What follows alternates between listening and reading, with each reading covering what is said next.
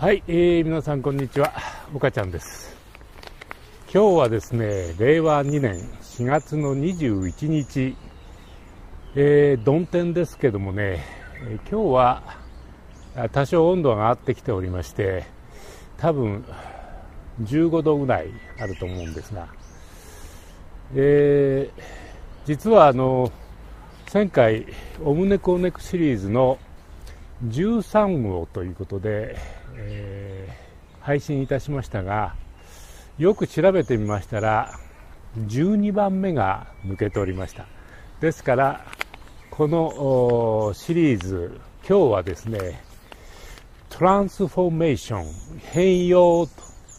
ということでかつて変容も一度やってますがもう一度ですね変容をテーマに語ってみたいと思うんです。はい改めてこちら4月の21日火曜日の夜になりまして、えー、撮り直しをしておりますが昼間はですねあのように、えー、家の中に閉じこもるというのはいろいろこうフラストレーションが溜まったりですね運動不足になったりしますでしょ。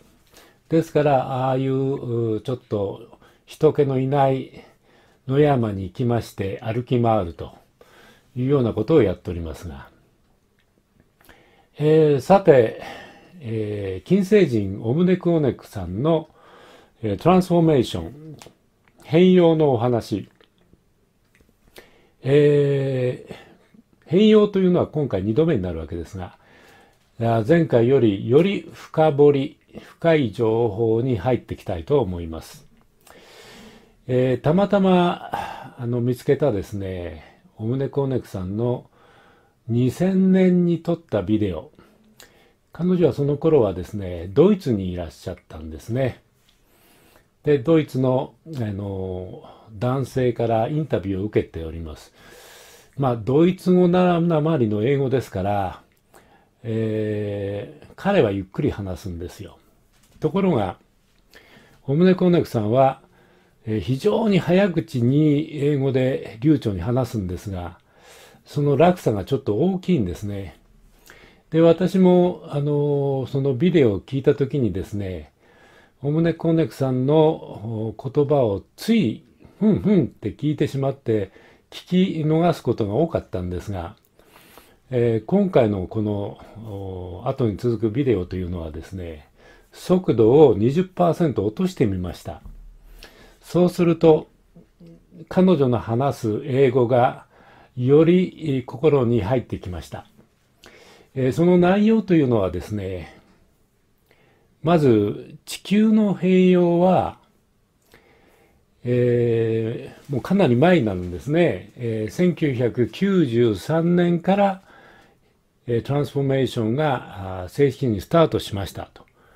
語られております。え、まずですね、地球にある隠されていた寺院の活性化を行ったヒドンテンプルアアクティベイティド活性化をしたというふうに語っております。えー、これによりですね、多次元へのゲートウェイが開かれました。えー、まあ、考えてみましたら、過去2000年にわたりましてね、次元が違うとかですね、多次元とか高次元とかっていう話は、昔は全く無縁でしたよね。えー、近頃ですよ、その5次元だとかですね、多次元のマルチディメンショナルの話が出てきたのは近頃になります。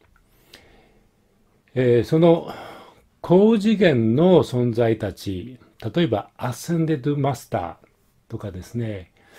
えー、いろんな存在たちがいるんですが、目に見えない存在たち、えー、地球に、え、良いエネルギーを送ってくれているそうです。これによりですね、まず地球が変わりだした。え、人間は、こう、鈍感に、ね、今なってますので、この小鳥、鳥の声だとかですね、 insect、虫の声の周波数が、えー、地球を癒すための周波数に変わってきたよというふうに語られてますね。えー、それから、右脳と左脳、えー、人間というのは右脳と左脳というのが右左とありましてですね右脳はどちらかというと感性左脳はロジカル記憶だとかですね知識だというのが左脳になるんですが、えー、このバランスが取れてなかったんですね。えー、これをえー、人間の本来の持ってるいろいろな能力を開花するために左脳と右脳のシンクロナイゼーション動機を取る統合するというそういうエネルギーになってるようなんですよ。えー、というわけで、えー、ちょっとスピードを落としました0.8で、えー、撮りましたビデオをこの後続けてみます。こちら見てください。どうぞ。Something coming up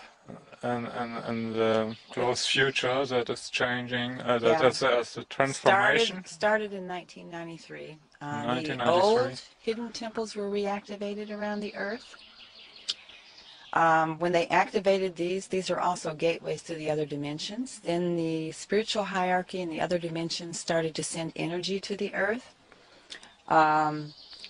they instructed all of nature, including the birds and all the insects and everything, to increase their sounds and their functions here because their sounds create also frequencies that are beneficial and healing for this planet. Um, there was many spiritual groups that started doing meditations on a regular basis in different countries. And the whole process was done through spiritual sources.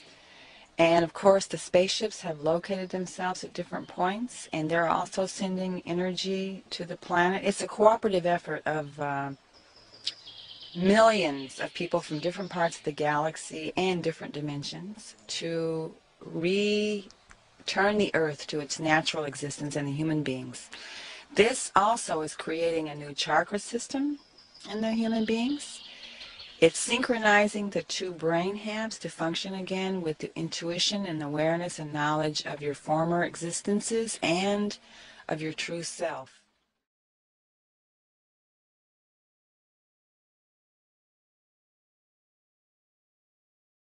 えー、この地球の変容についてですね